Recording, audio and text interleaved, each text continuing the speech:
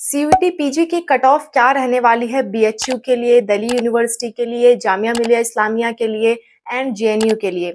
आज हम यही डिस्कस करने वाले हैं।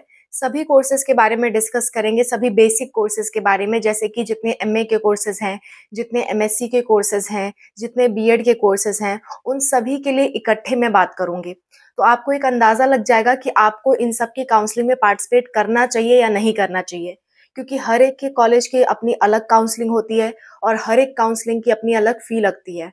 तो आप सब कॉलेजेस के लिए तो अप्लाई नहीं कर पाओगे क्योंकि फ़ीस सबके लिए देना आपके लिए टफ बात होगा। तो इसलिए मैं आपको सजेस्ट कर दूँगी कि इन सब कॉलेजेस में अगर आपको अप्लाई करना है तो कम से कम कितने नंबर होने चाहिए। अगर उतने नंबर नहीं है तो आप इन कॉलेजेस के चक्कर में मत पड़ना। ओके, आप दूसरे कॉलेजेस के बारे में सोचना। तो आपके लिए जानना बहुत ज़रूरी है कि कट ऑफ़ क्या रहने वाली है इन सभी कॉलेजेस के लिए। तो आज के वीडियो में यही हम डिस्कस करेंगे. Let's start hello everyone welcome to Spark of Classes this is Suman Yadav CUET PG CUET PG का पेपर पिछले साल तो 400 नंबर का होता था, लेकिन इस साल पार्ट ए हटा दिया गया था. यानी जनरल टेस्ट हटा दिया गया था. टोटल 75 क्वेश्चन ही आए थे एंड पर क्वेश्चन फोर मार्क्स होते हैं. इसलिए आपके टोटल मार्क्स है 300 ठीक है पर पेपर जो कट ऑफ़ है, वो पर पेपर के हिसाब से बताऊँगी। हो सकता है आपने एक से ज़्यादा पेपर दियो तो एक से ज़्यादा पेपर का मार्क्स एक साथ कभी काउंट नहीं होता है किसी भी कोर्स के लिए। आप किसी कोर्स के लिए अप्लाई कर रहे हो तो सिर्फ़ उसी वाले पेपर का मार्क्स काउंट होगा, ना कि आपके दूसरे वाले पेपर का। ये बात का आपको ध्यान रहे। एक पेपर टोटल 300 मार्क्स का होता है और उस पेपर में कितने नंबर आपको चाहिए, वो मैं आपको बताऊँगी। ठीक है? देखो अगर आप कोई भी एमए कोर्स करना चाहते हो बी डी यू या जामिया मिलिया इस्लामिया से, इन तीनों में से कोई भी एमए का कोर्स करना चाहते हो या कोई भी बीएड का कोर्स करना चाहते हो तो कम से कम आपके मार्क्स 220 होना चाहिए जनरल कैंडिडेट के लिए। कम से कम 220 220 टू 250 ही कट ऑफ़ जाएगी। 220 से 250 तक कट ऑफ़ जाएगी एमए कोर्सेज के लिए। ठीक है? 220 आप मान के चलो 220 में एडमिशन मिल जाएगा आपको। ठीक है तो 220 या 200 के लगभग भी आपके मार्क्स है ना तो भी आप एक बार ट्राई कर सकते हो। लेकिन जो बच्चे 150 या 100 नंबर लेके आए हैं, वो कोशिश ना करें, क्योंकि इसमें फिर आपका चांस नहीं है। आपके सिर्फ़ पैसे ही वेस्ट होंगे।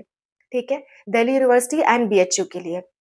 क्लियर और जेएमआई के लिए भी, तीनों के लिए। जेएनयू का कट ऑफ़ थोड़ा हाई रहता है, उसको हम लास्ट में कवर करेंगे। कैटेगरी वाइज अगर बताऊँ तो जनरल के लिए मैंने बता दिया कि 220 कम से कम आपके होने चाहिए। 200 तक भी है, तब भी आप पार्टिसिपेट कर सकते हो। ओबीसी के लिए भी अगर आपके 200 नंबर आ रहे हैं 200 या 190 तक आ रहे हैं तो भी आप पार्टिसिपेट कर सकते हो B H U and D U की काउंसलिंग में। आपको सीट मिलने के चांसेस रहेंगे। ठीक है? अगर आप एस सी एस टी या पीडब्ल्यू कैंडिडेट हो तो आपके डेढ़ सौ नंबर तक भी आ रहे हैं तो भी आप पार्टिसिपेट कर सकते हो। आपको कॉलेज मिलने के चांसेस हैं। ठीक है? नेक्स्ट बात कर लेते हैं इन्हीं कॉलेजेस के एमएससी कोर्सेज के बारे में। अगर आप एमएससी फिजिक्स एमएससी बायोलॉजी का कोई भी लाइफ साइंस मैं इन जनरल बात कर रही हूँ थोड़ा थोड़ा कट ऑफ़ सब में वैरी करेगा पाँच दस नंबर पाँच दस नंबर वैरी करेगा, लेकिन लगभग इतना ही रहेगा जितना मैं कह रही हूँ। पाँच दस नंबर वैरी कर सकता है पाँच दस नंबर प्लस माइनस हो सकते हैं, ठीक है? तो एमएससी लाइफ साइंसेस के जो कोर्स है, ज़्यादातर उनकी कट ऑफ़ 230 से अबव रहेगी जनरल कैंडिडेट्स के लिए 230 प्लस रहेगी। 230 से कम नहीं रहेगी जनरल कैंडिडेट्स जनरल कैंडिडेट्स के लिए, ये मेरी एक्सपेक्टेशंस है। ठीक है? तो 230 के लगभग जो बच्चे हैं, वो ज़रूर पार्टिसिपेट करें। 210 भी आया 220 भी आया तो भी जनरल कैंडिडेट्स पार्टिसिपेट कर सकते हैं। लेकिन 200 से ज़रा भी कम है तो आप बिल्कुल पार्टिसिपेट मत करो। उस केस में कॉलेज मिलने के चांसेस बिल्कुल नहीं है। ठीक है? इसके बाद आता है S C S T PW D के लिए। ओबीसी के लिए भी 10 मार्क्स रिड्यूस करके आप चला करो।